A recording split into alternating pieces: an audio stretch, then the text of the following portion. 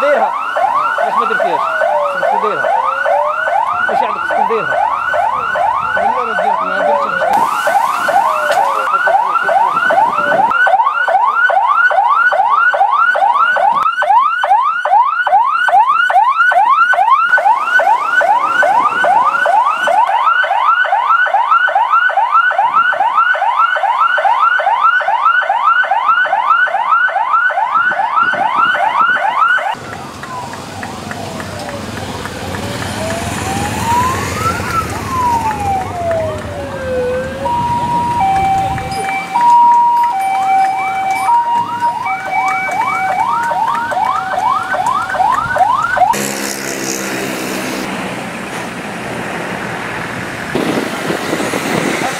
معكم العميد الإقليمي مصطفى زكريا نائب رئيس المنطقة الإقليمية لمديونة. الآن كنتواجدوا في الطريق الوطنيه رقم 9 اللي كتجيب من مديونة وكتدخل لتيط مليل في اتجاه المحمدية دائما عبر الطريق الوطني رقم 9 آه السد هذا سد إداري كيختلف على السد القضائي اللي شفتو قبل لحظات. هذا السد الإداري كيتكون من آه، عنصر مدني.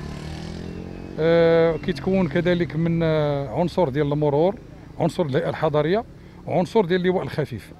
إلا لاحظتوا هاد الثلاثة كيشتغلوا بعضياتهم هنايا ديال الحضريه كيقوم بعملية التسجيل وديال المرور كيقوم بعزل الأشخاص للعنصر الآخر المدني باش كيقوموا بمراقبة ديال الرخص.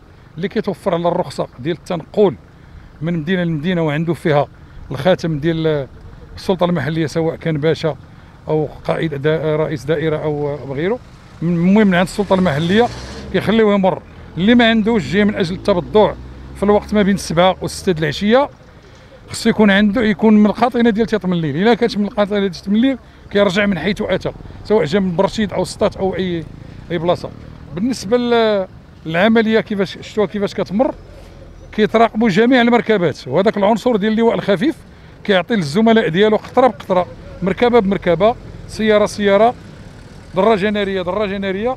باش كيقدروا يتمكنوا من العمل ديالهم بواحد بواحد الليونة بواحد السهولة في, في العمل. بالنسبة للسد القضائي اللي شفتو قبل لحظات هذا كيتكون من عناصر زايدة. في عنصر ديال المس ديال المس ديال المسلفة وما يسمى بالفرنسيه الهرس.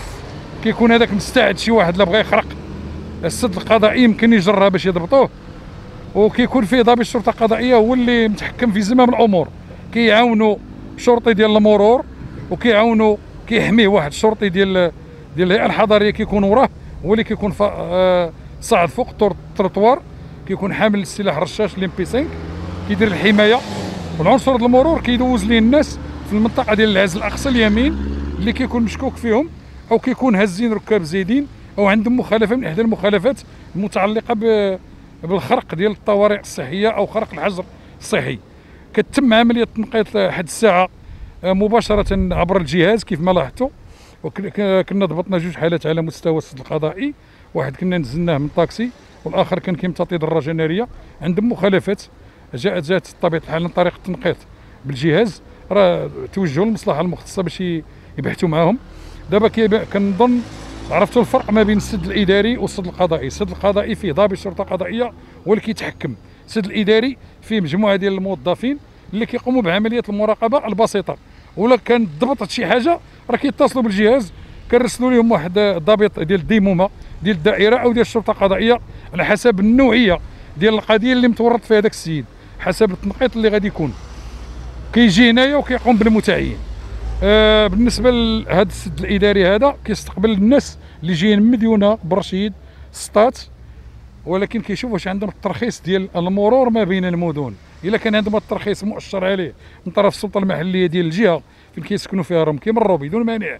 إلا ما كانش عندهم كيرجعوا من حيث اتوا إلا جاي شي واحد من شي منطقة هنايا في ال périphérie ديال تيطمليل باغي يتبضع هو ما ماشي من, من الساكنة كيرجعوه فين ساكن.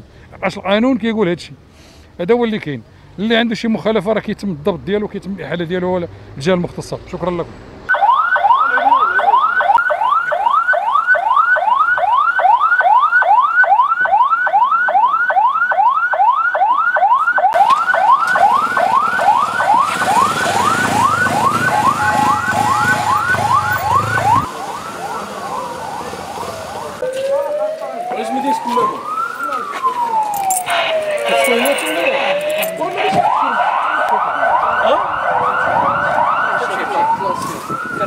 عندك علاقه بالسيون واش فاش عندك الدكتور يلا معنا تفضل تفضل يلا معنا اشتري بان